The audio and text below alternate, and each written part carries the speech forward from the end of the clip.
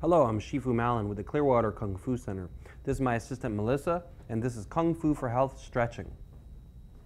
The next stretch that we're going to go ahead and do is going to be mainly working on your abdominal region, okay, and your front hip flexors. This is a lying stretch. So Melissa, let's go ahead and lie down. And instead of lying on our back, we're going to roll onto our stomach. Okay, at this point, you can lay nice and flat. The hands are going to be directly underneath your shoulders, palms down. Your feet, you can place them either together or in the beginning, it's probably better to have them about hip distance apart. Your toes are pointing backwards so that you also are stretching your instep, okay, through here. Now here, we're going to go ahead and keep our lower body touching the floor. So you want to feel your hips touching.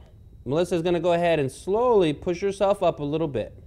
Okay, and then as you increase, you reach up higher, feeling the stretch throughout your back, arching.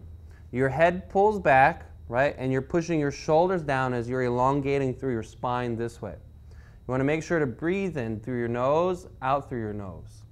If this is too difficult for you to do, a beginning position would be if Melissa would go back flat again, and now place both of your hands into fists and place your forearms on the floor here. One here, and then move this one here. Okay, in this you'd work the same thing, but you'll see that this one you don't have to push up so high. So this is a good way to start the stretch and then work to the other one. This is how we do our back arch in Kung Fu for Health.